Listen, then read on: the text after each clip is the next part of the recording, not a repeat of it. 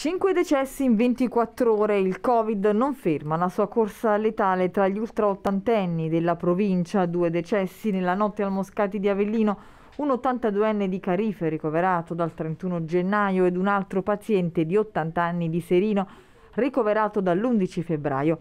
Altre tre le vittime registrate ieri, domenica 13 febbraio, Ieri pomeriggio un 82enne di Montemiletto ricoverato dal 7 di febbraio, una 63enne di Atripalda è deceduta sempre ieri nel pomeriggio e ricoverata dal 3 gennaio e trasferita il 29 nel reparto di terapia intensiva.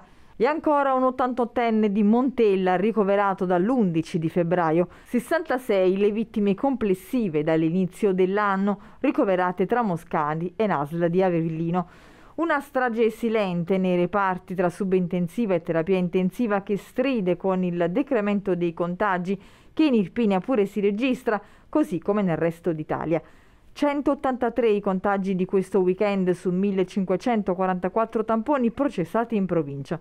Anche nel comune capoluogo si scende ad un numero più rassicurante, 26 positivi, 12 a Ariano, 10 solo fra in Montoro, i comuni su cui il virus si era abbattuto in maniera più pesante negli ultimi mesi.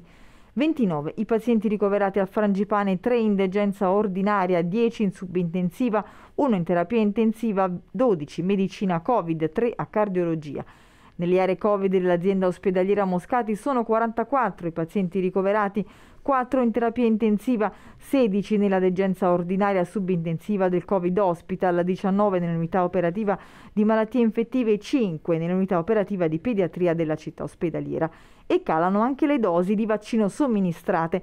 Nella giornata di ieri appena 491, 159 le pediatriche. Numeri però da interpretare in maniera positiva in considerazione dell'immunità raggiunta in Irpinia con percentuali rassicuranti, poche dosi in corrispondenza di un alto tasso di immunizzati, 894.599 le persone vaccinate, 334.424 le prime dosi, 302.975 per le seconde, 257.080 con la terza.